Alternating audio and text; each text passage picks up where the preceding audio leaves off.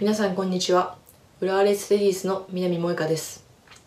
現在新型コロナウイルスの影響により多くの方が活動の自粛を余儀なくされている状況です。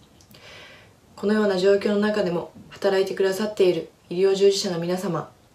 生活必需品を作り届け販売してくださっている多くの方々に心から敬意を表し御礼申し上げます。